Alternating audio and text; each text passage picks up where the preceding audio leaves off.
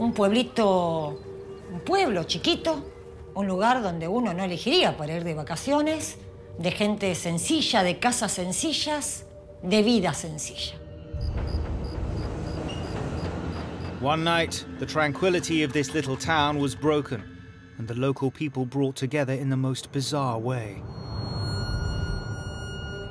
At 12:15 a.m., Venía a casa después de cenar con amigos. De repente miro al cielo y, me encuentro con este objeto largo, así, largo de un camión más o menos. Estaba por entrar a casa de mi mamá y de repente en el cielo se vio una luz inmensa. Nosotros indudablemente no sabíamos de qué se trataba.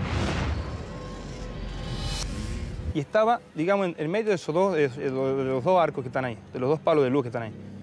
Y era más o menos eh, este tamaño. these were not the only eyewitness accounts. This town experienced one of the largest mass sightings ever recorded. More than 30 people reported seeing a strange hovering object, and they all agree on what they saw. Era brillante, alargada, en forma de un, de un cigarro. Observé un objeto como una forma de un, de un cigarro, con una luz realmente incandescente, de rato como que si palpitara la luz. The object sparkled and glowed, hovering 300 meters above the town. Fifteen minutes after the first sighting, it started to move south, then disappeared.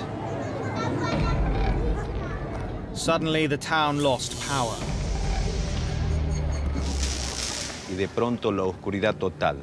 Eh, lo único que se escuchaba eran voces, pero el objeto ya había desaparecido. The power returned the next morning, several hours later. No sabían cuál era el causal del corte total. Suponían que se hubiera tratado de algo que se había posado justamente allí en el dique, que esto habría sido realmente la causante de este episodio.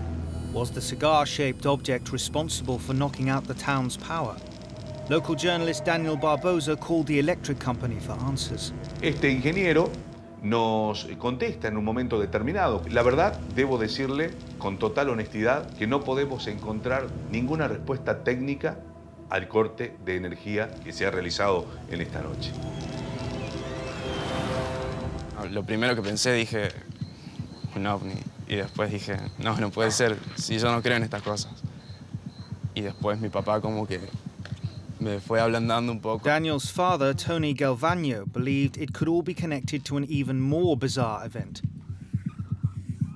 that took place in the same area 14 years earlier. un día diáfano totalmente, sentimos dos explosiones muy seguidas. Dos segundos después, un movimiento telúrico muy fuerte. At first, Tony Galvano believed there could be only one explanation for the explosion and tremor a plane crash.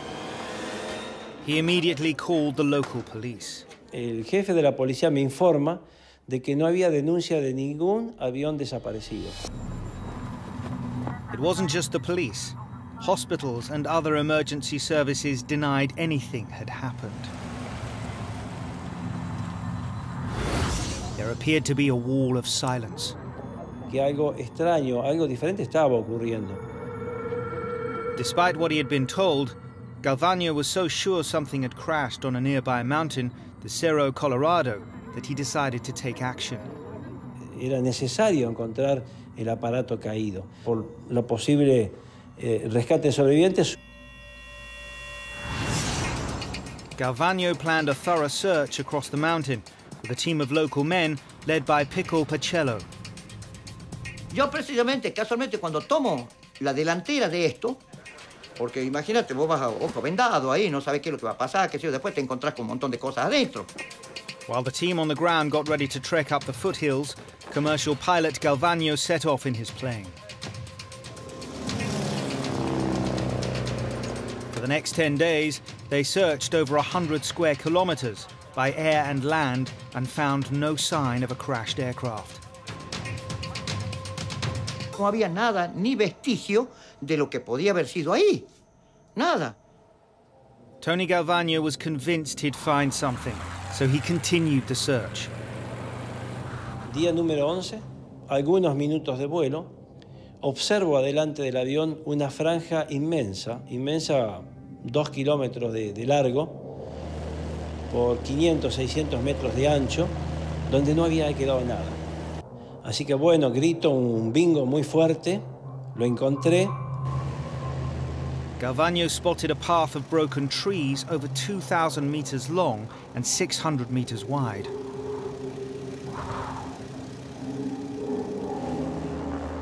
He couldn't see any wreckage.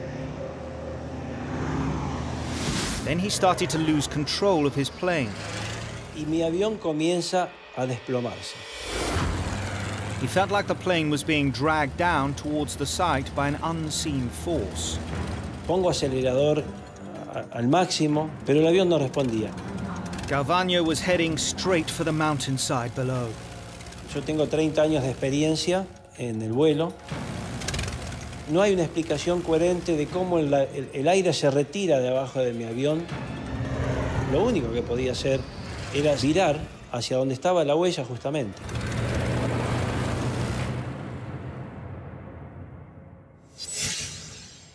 Galvano had a rough landing. This footage, taken 10 days later and never broadcast before, clearly reveals the scorched strip of land he saw and landed on. No ver pedazos de, de, aeronaves dispersos por el lugar. Lo único que encontré era un desparramo total de árboles. Habían volado, obviamente, por alguna fuerza expansiva que los había arrancado. The site looked like the aftermath of a forest fire. But what caused the eerie shroud of white dust scattered across the devastated landscape?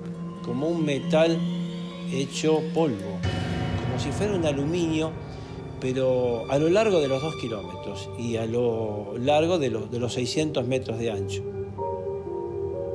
No aircraft would be big enough to devastate the broad track revealed on this exclusive footage.